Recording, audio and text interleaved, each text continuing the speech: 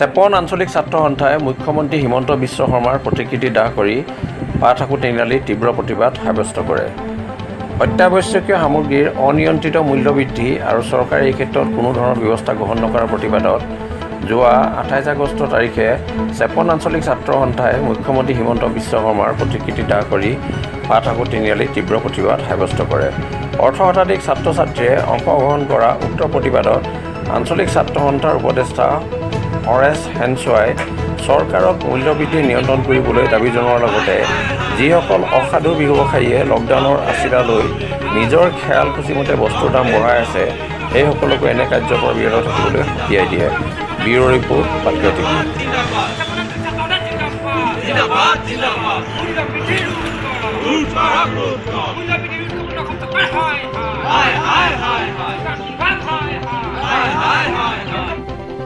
ঊৰ্ধগামী মূল্যবৃদ্ধিয়ে জনসাধাৰণক যিধৰণে ঘোষণা কৰিছে এই ক্ষেত্ৰত চেপন আঞ্চলিক ছাত্ৰ সন্থাই আজি তাৰিখত আমি তীব্ৰ প্ৰতিবাদ কাৰ্যসূচী গ্ৰহণ কৰিছোঁ।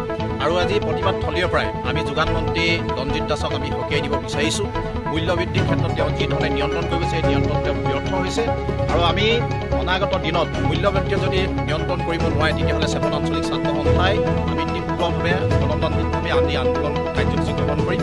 আৰু আমি আজি তাৰিখৰ পৰাই যিসকল অ- অসাধুৰ ব্যৱসায় আছে তেওঁলোকক আমি সকীয়াই দিব বিচাৰিছোঁ। তেওঁলোকে যাতে কৰোণাৰ বাহানা লৈ তেওঁলোকে কৰোণাৰ যাতে সুযোগ লৈ যাতে গ্ৰাহকৰ পৰা তেওঁলোকে লুণ্ঠন নকৰে গ্ৰাহকৰ অতিৰিক্ত যাতে দাম নলয় এই ক্ষেত্ৰত আমি চেপন আঞ্চলিক ছাত্ৰ সন্থাই চেপন অঞ্চলৰ ব্যৱসায়ীসকলৰ প্ৰতি আমি তীব্ৰ নজৰ ৰাখিম আৰু অনাগত দিনত যদি তেওঁলোকৰ এনেধৰণৰ ব্যৱস্থা নলয় চৰকাৰে যদি ইয়াৰ ব্যৱস্থা নলয় তেতিয়াহ'লে আমি চেপন আঞ্চলিক ছাত্ৰ সন্থাই এটা জঙী আন্দোলন কাৰ্যসূচী গ্ৰহণ কৰিবৰ কাৰণে আমি বাধ্য হ'ম।